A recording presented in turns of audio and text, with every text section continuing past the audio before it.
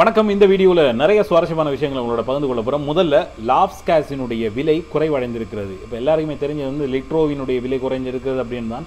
நிறைய பேர் இந்த மஞ்சள் கேஸ் சிலிண்டரை வச்சுட்டு என்ன செய்யற அப்படின்னு சொல்லி தெரியல. என்ன அதனுடைய விலை அதிகமாக இருந்தது. இப்பொழுது அதனுடைய விலை குறைந்திருப்பதாக அந்த நிறுவனம் அறிவித்திருக்கிறது. பன்னெண்டு தசம் ஐந்து கிலோகிராம் வந்து ஐநூறு ரூபாயால் குறைந்து ஐயாயிரத்து முந்நூறு ரூபாயாக இப்பொழுது நிர்ணயிக்கப்பட்டிருக்கிறது. அதே மாதிரி ஐந்து கிலோகிராம் வந்து இருநூறுரூவா குறைக்கப்பட்டு இரண்டாயிரத்தி நூற்றி இருபது ரூபாவாக இப்பொழுது நிர்ணயிக்கப்பட்டிருக்கிறது.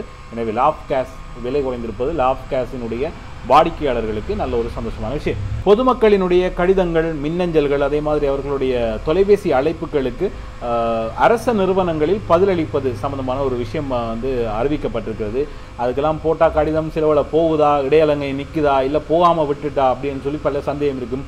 கோல் எடுத்த ஆன்சரில் இல்லாட்டி சில நேரத்தில் பிஸியாக இருக்கும். பிஸியாக இருக்குன்னா இன்னொருத்தர் அதுக்கு முயற்சி செய்கிறார் அப்படின்னு சொல்லி தான் நம்ம நினைக்கலாம். அவங்க வந்து பேசி கொண்டிருக்காங்கலாம் நினைக்க முடியாது. இப்படி நிறைய சிக்கல்கள் இருக்கிறது. போன மின்னஞ்சலுக்கான ரிப்ளை வாரது அப்படின்றது அது நடக்காத காரியமாக இருந்தது. இப்போ பல காரணங்கள் அதுக்கு சொல்லப்பட்டிருந்தால் ஏற்கனவே இந்த கோவிட் தொற்று காலப்பகுதி அதே நேரத்தில் இந்த எரிபொருள் சிக்கல் நிலைமை காரணமாக இப்படியான நிலைமை ஏற்பட்டதாக சொல்லப்பட்டிருந்தது. இப்பொழுது அதற்கான ஒரு தீர்வு ஒன்று அறிவிச்சிருக்காங்க. என்ன அப்படின்னு சொன்னால் உடனடியாக பதில் பழங்க வழங்க முடியாவிட்டாலும் ஒரு வாரத்துக்குள்ளே அதற்கான ரிப்ளை பண்ணணும். உங்களுக்கான உங்களுடைய கடிதம் எங்களுக்கு கிடைக்கப்பட்டது. எனவே உங்களுக்கான பதில் வந்து விரைவில் வரும் அப்படின்னு சொல்லி ஒரு ரிப்ளையாவது கொடுக்க வேணும். அதுக்கும் நான்கு வாரங்கள் அதாவது ஒரு மாதத்துக்குள்ளே அவர்களுக்கான சரியான பதில் கொடுக்கணும் அப்படின்னு சொல்லி இப்பொழுது அறிவிக்கப்பட்டிருக்கிறது.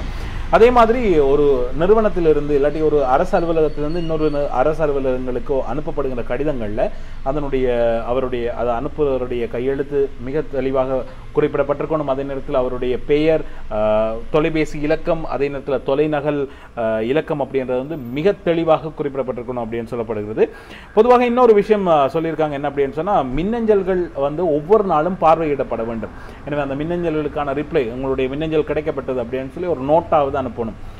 இது வந்து உங்களுக்கான விரைவில் கொடுக்கப்படும். இல்லாட்டி அதுக்கான உடனடியாக தீர்வு கொடுக்க முடியுமாக இருந்தால் அது உடனடியாக தீர்வு கொடுக்க முடியும் அப்படின்ற விஷயங்கள்லாம் சொல்லப்படுகிறது. அதே நேரத்தில் சாதாரணமான கடிதங்களுக்கு கூட அதுக்கான ரிப்ளை அளிக்க வேண்டும் அப்படின்னு சொல்லப்படுகிறது. இன்னொரு முக்கியமான விஷயம் என்ன அப்படின்னு சொன்னால் ஒரு தொலைபேசி வருகிறது அப்படின்னு சொன்னால் அதுக்காக ஒருத்தரை நியமிக்க வேண்டும். அவர் நியமித்து அந்த தொலைபேசி அழைப்புகளை அவர் வந்து மேற்கொள்ள வேண்டும். அதே நேரத்தில் தொலைபேசி அழைப்பு மேற்கொள்ளுற இப்போ நான் வந்து கால் பண்ணுறேன் ஒரு அரசு நிறுவனத்துக்கு அப்படின்னு சொன்னால் என்னுடைய எத்தனையாம் தேதி இன்றைக்கு நான் கால் பண்ணியிருக்கேன் இத்தனை மணிக்கு கால் பண்ணியிருக்கேன் என்ன பேரில் கால் பண்ணியிருக்கேன். என்ன விடயம் சம்மந்தமாக கால் பண்ணியிருக்கேன். என்ன வந்து திரும்ப தொலைபேசி மூலமாக தொடர்பு கொள்வதற்கான என்னுடைய தொலைபேசி இலக்கம் என்ன அப்படின்றது வந்து ஒரு பதிவேட்டில் குறிப்பிடப்பட்டு அதை வந்து உயர் அதிகாரிகளுக்கு சமர்ப்பிக்கணும் அப்படின்னு சொல்லி எல்லா விஷயங்களும் சொல்லப்பட்டிருக்கிறது. நல்ல ஒரு விஷயம்.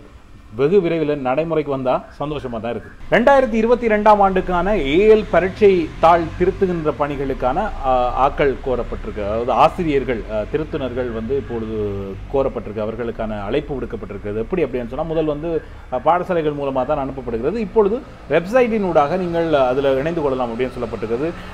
டூ நெட்ஸ் டாட் எல்கே என்ற இணையதளத்துக்குள்ளே போகலாம். அல்லது டிஓஇ அப்படி என்று சொல்லி ஆப் இருக்கிறது. அந்த ஆப்புக்குள்ளால போகலாம். உத்தியோகபூர்வ ஆப்புகள் தான்.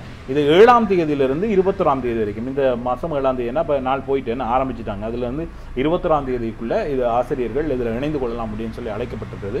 அதனால் இந்த வீடியோ பார்த்துட்டு இருக்கவங்க உங்களுக்கு தெரிஞ்ச ஆசிரியர்கள் இதில் வளமையாக பேப்பர் மார்க்கிங் போகிறவங்க அப்படின்னு சொன்னால் அவர்களுக்கு இது ஒரு தகவலாக சொல்லிடுங்க. யாழ்ப்பாணத்தில் நடந்த ஒரு சம்பவம் உண்டு. என்னென்னா ஒரு அம்மா லெட்டர் ஒன்று எழுதி கொண்டு போலீஸில் கொடுத்துருக்கா என்னென்னா என்னுடைய மகனை இனி என்னால் வளர்க்க இயலாது. தயவு செய்து ஏதாவது ஒரு முடிவெடுங்க அப்படின்னு சொல்லி எனக்கு அவர் வேண்டாம் அப்படின்னு சொல்லி லெட்டர் எழுதி கொடுத்துருக்கான். லெட்டரை பார்த்தோன்னே அதிர்ந்து போய் என்னடா விஷயம்? அப்படின்னு சொல்லி ஆராய்ச்சி பார்த்துருக்காங்க. சுண்ணாகம்பதில் இருக்கிற போலீஸாருக்கு தான் இது போயிருக்கிறது. பதினைந்து வயது தன்னுடைய மகன் போதைப் பொருளுக்கு அடிமையாக இருப்பதால் அவரை வந்து என்னால் பார்க்க முடியாது. அவர் எனக்கு வேணாம் அப்படின்னு சொல்லி ஒரு தாய் சொல்லியிருக்காங்க. பொதுவாக இந்த இளைஞர்களிடையே இந்த போதைப்பொருள் பாவனை அதிகமாக இருக்கிறது. எனவே அதை வந்து கட்டுப்படுத்தணும் அப்படின்னு சொல்லி பலதரப்பட்ட முயற்சிகளை அரசாங்கம் மேற்கொண்டிருக்கிறது. அதுக்கான நடவடிக்கைகளையும் எடுத்திருக்கிறது. அரெஸ்ட் பண்ணியிருக்கிறார்கள். எனவே குறிப்பாக இந்த போதை பாவனையில் அடிமையாவதன் காரணமாக அவர்களுடைய எதிர்காலமே இழக்கப்படுகிறது. எனவே இப்படியான ஒரு செயற்பாடு இருக்கின்ற பொழுது இப்படி ஒரு தாய் போயிருக்காங்க அப்படின்னு சொன்னால் இதே மாதிரி எல்லா தாயும் வந்து முன்னுக்கு வரணும். அதாவது எல்லாரும் போய் பொலிசில் நிற்கிறது உங்களுடைய பிள்ளைகளை பார்த்துக்கொள்ளுங்க. அவர்கள் வந்து என்ன அவர்களுடைய நடவடிக்கைகள் என்ன எப்படி யாரோட ஃப்ரெண்ட்ஸ் சேர்றாங்க என்ன மாதிரியான விஷயங்களில் அவர்கள் ஈடுபடுகிறார்கள் அப்படின்ற முழு கண்காணிப்போடு இருக்கு.